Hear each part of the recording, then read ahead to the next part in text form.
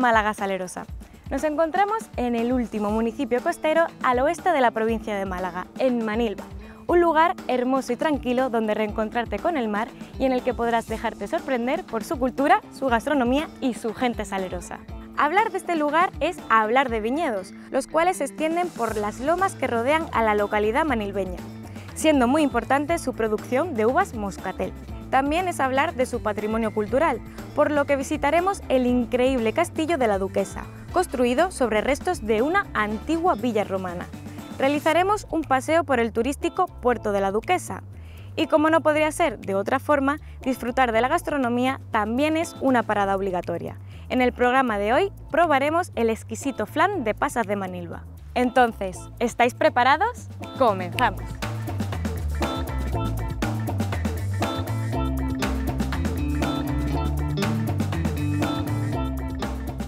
Como primer paso de nuestra visita nos hemos desplazado hasta las viñas, que como veis está muy cerquita del pueblo. La vendimia siempre ha sido una tradición en Manilva y para que nos cuente un poquillo más sobre ello nos hemos encontrado con Diego. Aquí, ¿qué tipo de uvas tenemos? Aquí mayormente es la moscatel de Alejandría, que es la que siempre se ha dado mejor y que de eso siempre hemos, hemos vivido. ¿Y qué tiene de peculiar la uva moscatel?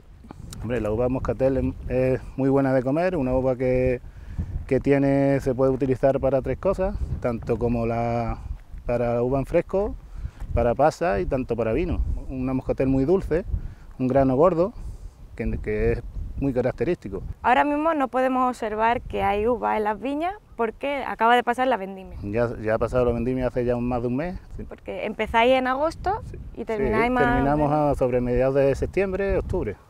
¿Y qué tipo de vino se produce con esta uva? Pues ahora mismo nosotros estamos sacando el, eh, un moscatel seco y, los típicos dulces de siempre, vamos. Semis también, sacamos algún semi. Y, tenéis la gran peculiaridad de que tenéis el mar al lado y eso le da un toque... un, un toque salino, sí.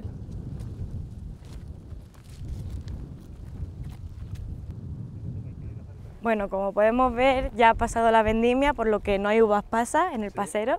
Pero cuando están aquí, ¿cuál es el proceso de elaboración? Pues aquí se tienden los racimos hacia abajo, se, dejan unos 15 días según el, clima que haga. cuando cambien de color se les da la vuelta y también tienen la tienes que coger todos los días y taparlo por el rocío de la noche. Y entonces ahí ya se, se extrae esa uva pasa y ya estaría lista para comer. Sí, para la cocina se utiliza mucho, porque claro, tiene mucho azúcar y, la, pasa es muy buena para hacer postre. Que por cierto, tú ahora me vas a dar unas cuantas pasas para echársela al exquisito flan de pasas de aquí de Manilva, que vamos a probar luego, y me la vas a dar en la bodega, creo. Sí, ¿no? ahora vamos por la bodega. Venga, me vas a enseñar y así me enseñas un poquito más la elaboración del vino. De acuerdo. Venga.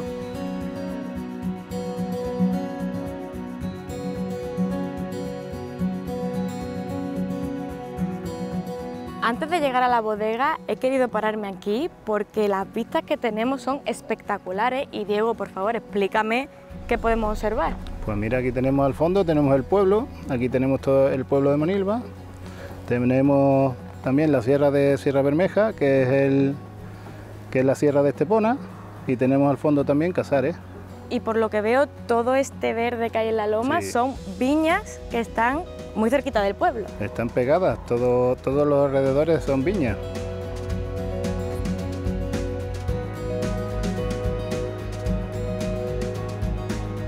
Anda, ya hemos llegado, bodega Manilva. Aquí estamos, vamos dentro. Vamos dentro.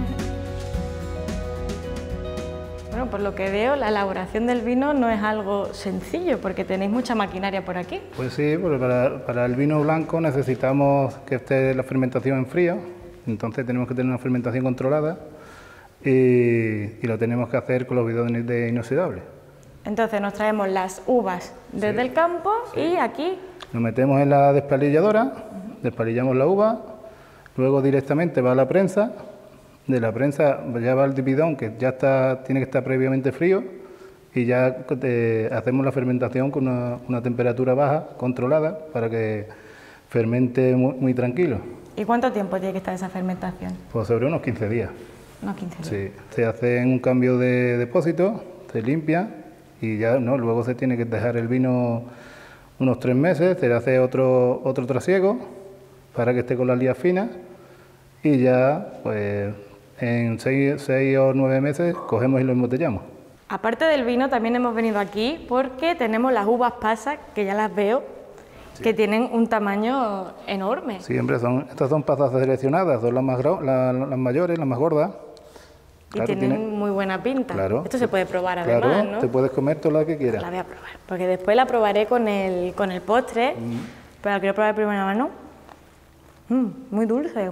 Pues toma, para que no te vayas sin nada, te voy a regalar una cajita. Anda, mira qué bien. Estas son las pasas que después vamos a añadir al flan, pasas de manilva. Yo le voy a echar solamente unas poquitas al postre porque el resto yo me las llevo a mi casa porque están deliciosas. Están muy buenas. Me encantan. Así que muchísimas gracias, te dejo por aquí con tu bodega y nosotros seguimos con nuestro paseo por Manilva. Muy bien, pues nada, encantado. Igualmente. Hasta luego.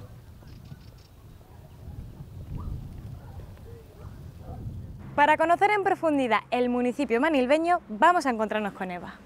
Hola Eva, ¿qué tal? Hola Lía, bienvenida a Manilva. Muchas gracias. Bueno, ¿qué pedazo de vistas has elegido para nuestro encuentro? Sí, dicen que una imagen vale más que mil palabras. En cualquier parte del municipio donde quieras eh, mirar y tener buenas vistas, pues te desplazas un poquito y en general Manilva tiene unas vistas maravillosas y preciosas. Sí, además aquí podemos ver esa maravillosa orografía donde se juntan las colinas y las viñas con el mar. Sí, las viñas llegan casi hasta la orilla, casi casi pegando al mar. Este, una de las pocas viñas que quedan de, del mundo que todavía las viñas están tan cercanas al mar. Y cuéntanos, ¿qué tiene de especial Manilva? Bueno, Manilva es un municipio eh, pequeñito que guarda todavía las tradiciones, eh, atractivo para el público por eso, aquí la gente es muy acogedora, formamos parte de Málaga, somos el último pueblo de Málaga si viene de la capital, tenemos el Manilva Pueblo, luego tenemos las urbanizaciones, el castillo, donde está el monumento, que ya luego sí lo vais a visitar, y Sabinilla, ¿no? que es donde están las playas y digamos el paseo marítimo, y es donde la gente pues, elige el sitio para pasar sus vacaciones. ¿Y cuántos habitantes tenemos aquí en este municipio? Eh, normalmente tiene 15.000 habitantes. Eh, es verdad que en verano triplicamos la población, es un pueblo muy turístico, la gente disfruta muchísimo de, estas vistas y de las playas, la gente es muy acogedora y claro, es un destino turístico bastante interesante.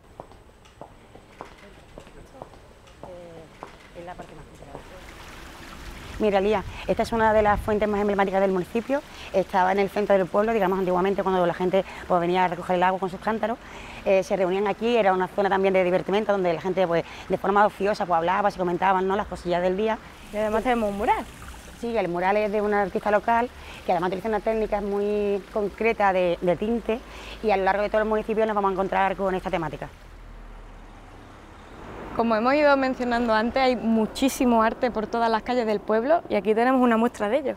Eh, sí, este es uno de los murales más importantes que tenemos en el municipio, es uno de los más grandes, lo ha hecho un artista local, María José Gil. Es una imagen, digamos, del municipio, ¿no? de todas las vistas que se tienen. Pues podemos ver en la parte del mural que se ve Gibraltar, se ve el África, en otra se ve las viñas que llegan hasta el mar, se ven los distintos núcleos poblacionales, las zonas culturales más importantes como el monumento, la iglesia. Entonces, la verdad es que es un resumen de lo que es el municipio, los tres pueblos unidos en este mural.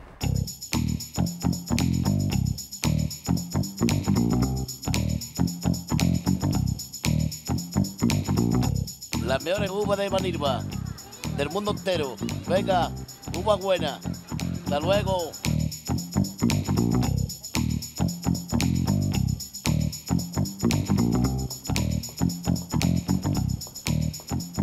Qué plaza más, más bonita. Sí, esta es una de las últimas plazas que se hicieron, eh, un poco para embellecer el pueblo, ¿no? Y tener rincones pues, más románticos, más bonitos, ¿no? Donde poder hacer una foto, un selfie y también para comunicar a calles. ¿no? Y este es un mural que se hizo para recordar ¿no? a todas las personas que han formado parte de esta sociedad, sus estilos de vida, cómo se hacía la uva, cómo se hacía el vino y la verdad es que es muy entrañable porque es toda la gente que ha vivido aquí a lo largo de toda su vida.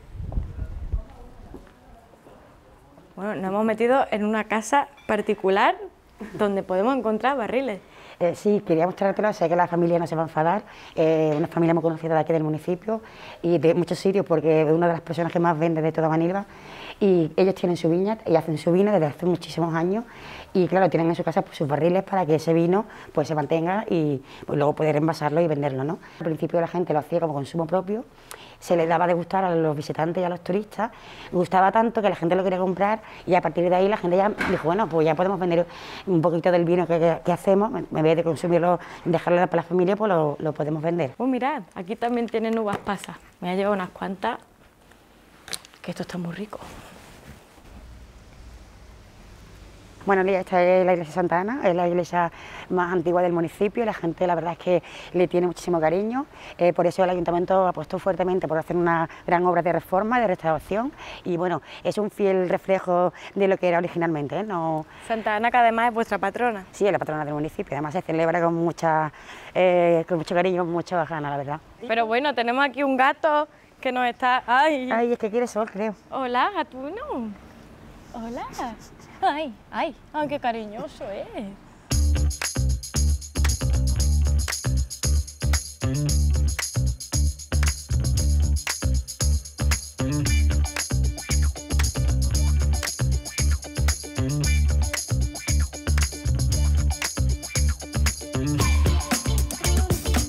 Después de conocer la parte vitivinícola y el pueblo de Manilva, nos hemos bajado hasta la costa.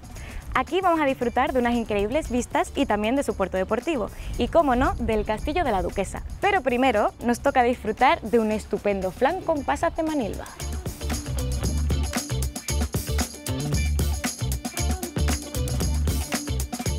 Hola Gemma, ¿qué tal? Buenas tardes, Lía. Bueno, que ya estamos por aquí para elaborar nuestro flan con pasas. Y mira lo que te he traído encima. Mira qué pedazo de caja. Qué rica. La he traído directamente de la bodega de Pampanito para que hagamos nuestro postre. Oh, qué rica. Lo que pasa es que hay un pequeño problema, que las mías las tengo aquí preparadas sin pipitas y esas traen pipitas. Anda. Bueno, pues nada, pues mejor para mí porque me las llevo para mi casa. Pero que veo que ya tienes aquí todos los ingredientes puestos. Sí, sí, aquí tenemos todos los ingredientes para hacer un flan con, pasas y uvas, que es lo típico de aquí, las pasas y las uvas. Bueno, pues habrá que ponernos manos a la obra, pero primero nos tendremos que poner los delantales para no mancharnos. Claro, claro que sí. Venga, pues te traigo el tuyo. Perfecto. No te muevas. Mira qué delantal más chulo de Málaga salerosa. Qué bonito. Para que vayas tú, divina de la muerte. Qué sorpresa. Ahí.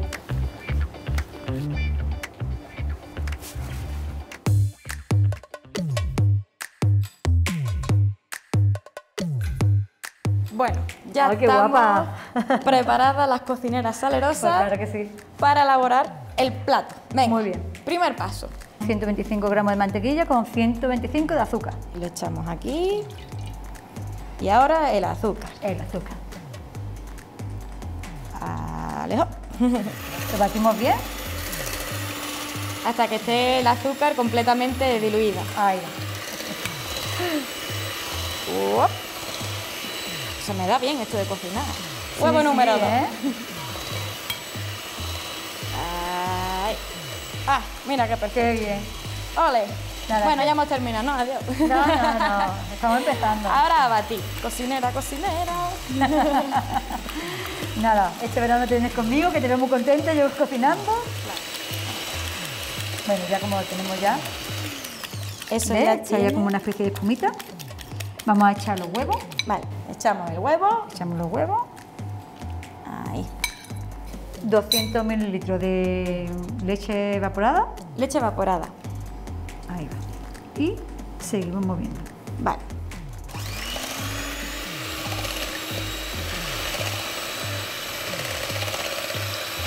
Y ya cuando vemos esa espumita burbujeante, es que está. Es que está. Vale. y ahora el siguiente paso. Le vamos a echar las almendras. Las almendras. Vale. ¿Cuánto más o menos? ¿Qué cantidad? Son 125 también de, almendras y vamos a echarle dos cucharitas de ron. ¿Eso es ron? Eh, ron añejo. Ah, mira. Vale.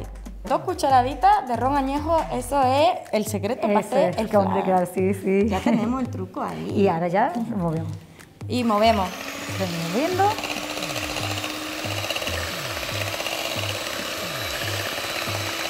Bueno, cuando ya está toda la mezcla ya uniforme, ve que está ya todo... Bueno, pues tenemos aquí ya los moldes para montarlo, ¿vale? Vale. Ah, ya está elaborado. Ya está elaborado. Esto es muy fácil y muy rápido. Lo movemos bien para poder coger las almenditas, para que no se quede todo en el fondo y lo llenamos los cuatro cacharros hasta solo la mitad, ¿vale? Bueno, aquí tenemos las uvas y las pasas. Ah, vale, porque no solamente le vamos a incluir uvas pasas, sino que uvas normales Ahí también. Vale. pues mira. A lo mejor yo que soy muy generosa. Sí, hombre, claro. si luego no lo comemos nosotros, pues tenemos que echar más. Claro. Mitad pasa y otra mitad. Muy bien. Bueno, ahora tenemos que buscar un recipiente para meterlo en el horno porque esto lo tenemos que hacer al baño María. Anda, ¿y cuánto tiempo? Pues sobre unos 20 minutos. Vámonos. Pues vamos para allá. Qué pedazo ayudante tengo. Ay, qué maravilla.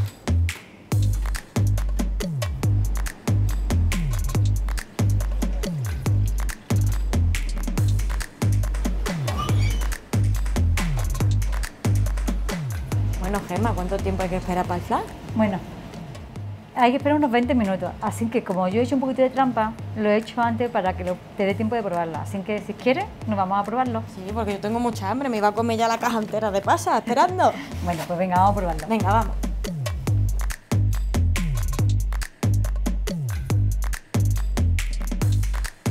A ver, vamos a ello. Por aquí. Mira que yo soy muy de postre, ¿eh? Sí, ¿no? A ver.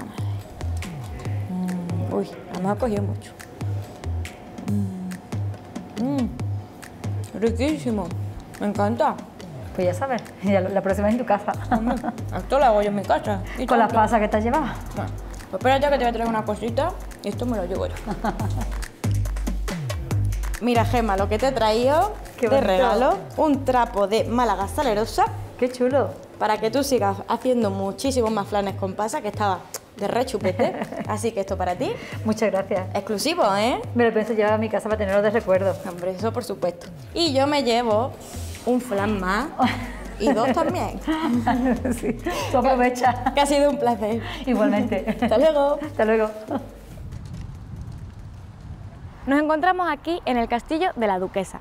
Esta fortificación fue construida a mediados del siglo XVIII sobre los restos de una antigua villa romana. Vamos a conocerla. Buenos días, Marcos. Buenos días. Que estamos aquí en el corazón del castillo de la Duquesa. Sí, y además lleva razón. Estamos en el corazón del castillo porque es en la parte central importante del castillo. No obstante, vamos a subir a la zona del Rebellín donde se encontraban las baterías de costa. Empezamos por allí nuestra visita. Empezamos por allí nuestra visita. Vamos.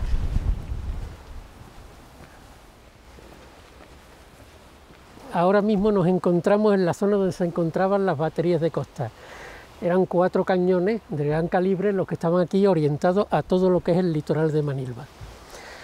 ¿Por qué? Pues sencillamente porque en esos momentos en los que había, había un- una lucha permanente con, con las tropas británicas por haber tomado Gibraltar, pues Carlos III se da cuenta que hay que reforzar todo el litoral.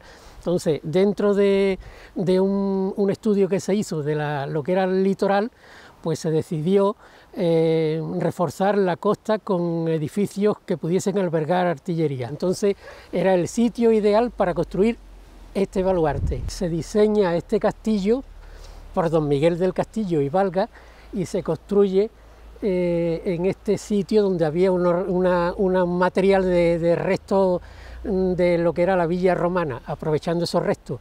También es verdad que el ladrillo se le encargan a un fabricante de ladrillos de Manilva. Y por supuesto que tenemos aquí unas vistas impresionantes del mar porque tenían que tener ese cuidado de que no vinieran las, las incursiones. Claro, es que se, se trataba de mantener un- una fuerza militar importante. Eh, tenemos que darnos cuenta que lo que es el castillo en sí alberga una zona para soldados de infantería con, con sus sargentos y sus cabos y eh, o- 10 de caballería con, con las cuadras y los caballos que también estaban al lado y 10 de artillería. Y a día de hoy, ¿este castillo solamente tiene el fin de visita turística o también se realizan eventos? Este edificio eh, tiene muchísimas posibilidades. Es un edificio que independientemente de lo que son las habitaciones, poseen espacios abiertos que pueden tener un carácter cultural. De hecho, donde se vienen realizando eh, muchísimos eventos a lo largo del año, como te decía, por las posibilidades que tiene y a la vez pues acoge oficina municipal y un museo municipal también. Pues dentro de los eventos que se celebran eh, hay muchísimo interés por, por infinidad de parejas para celebrar su- sus bodas aquí en este edificio.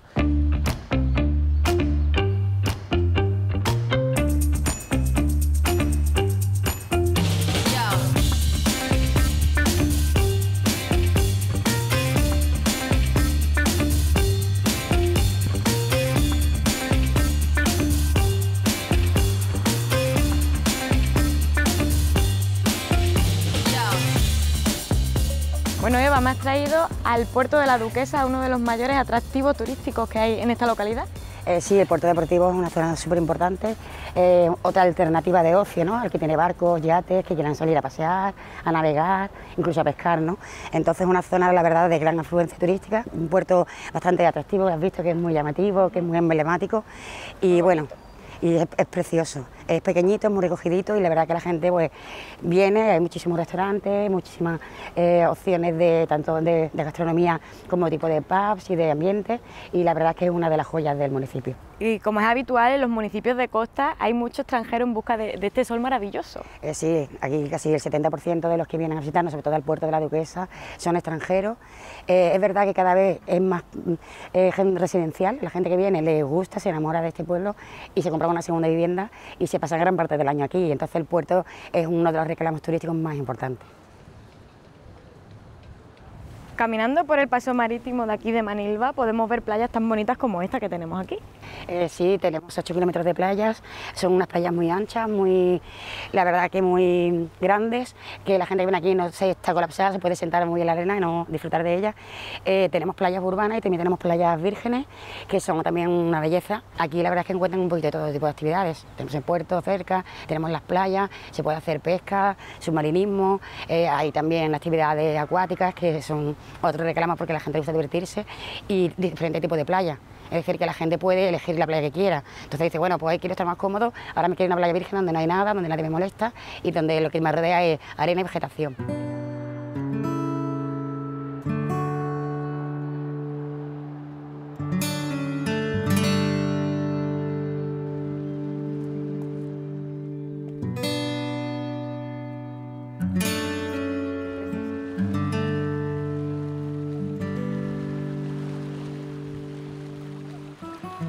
Creo que nos encontramos en una de las playas más bonitas que he conocido nunca, la playa de Chullera, que encima estamos lindando con Cádiz. Casi que hago así y estoy en Cádiz, hago así y estoy en Málaga. así es. Esto es Punta Chullera. Es eh, esta playa linda, justo aquí en el arroyo de Calataraje con la provincia de, de Cádiz, y creo que es uno de los entornos más, como dices, espectaculares de la Costa del Sol. Eh, tiene muchísimas, eh, muchísimas riquezas, pero eh, a todos los niveles, a nivel ecológico, geológico, estamos en unas formaciones geológicas muy especiales también. Y ya estaba protegida por el plan especial del medio físico de la provincia de Málaga, pero ahora también forma parte de la Reserva Ecológica Playas de Manilva. Nosotros nos giramos y tenemos una vista increíble que tenemos Gibraltar ahí mismo, que parece que, llegamos nadando, estamos allí y todo África. Mira, realmente son las torres de, de Hércules. Tenemos el Peñón de Gibraltar y justo enfrente el Monte Musa, en África. Y también tenemos aquí una costumbre de Manilva, que son los pescadores. Eso es constante, en verano y en invierno. En verano sí que es verdad que hay eh, restricciones con respecto a la pesca, porque solo se puede pescar a partir de las 8 o 9 de la noche, que es cuando acaba el tramo de recreo ¿no? de bañistas. Pero, pero sí, en verano y en invierno, y no solo pesca con caña desde, desde la roca, sino también pesca submarina. Antes nos hemos hecho un recorrido por, todo el pueblo de Manilva y hemos visto una pedazo de obra de arte en un mural, porque María José es artista y tú eres la culpable o la artista que ha hecho esa obra. Pues sí, una obra ingente. Pero efectivamente, precisamente esto es lo que, lo que me inspira. Eh, todo el mural en realidad no es más que recuerdos de mi infancia. Y yo eh, soy de aquí, soy de Manilva, y, y me he inspirado en eso, en cada uno de los recuerdos, en Chullera, la torre está reflejada en el mural, eh, por supuesto eh, toda la costa, el pueblo, sus calles, los lugares donde echábamos la tarde jugando hasta que se nos hacía de noche, en fin, que no es más que eso, una visión muy poética de mi pueblo al que adoro. Claro, porque no solo cuenta la historia del pueblo, sino la tuya propia. Sí, sobre todo la mía propia. Qué bonito. Porque además tú venías de aquí desde pequeñita, porque naciste aquí en, Manilva. En estas playitas, sí, en estas playitas de guijarros, que son prácticamente como una piscina de agua cristalina, pues me vengo bañando desde que era una mocosa. Y además del arte que hemos podido ver decorando las calles de, este pueblo, tú también haces arte para ti misma. Sí, claro, ando con pinceles y con lápices desde que era una cría. Y no tengo el suficiente tiempo o no tengo el tiempo que me gustaría porque tengo que compaginarlo con el trabajo, con mi vida como madre también de dos niños, pero sí, aprovecho los huecos que me quedan, que sobre todo son por la noche, y, y pinto, pinto mucho, pinto, dibujo y me apasiona.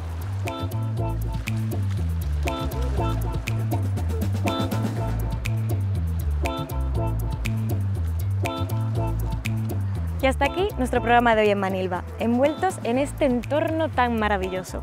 Nosotros nos vamos, pero nos vemos en el próximo programa y no os olvidéis de echarle salero a la vida. ¡Adiós!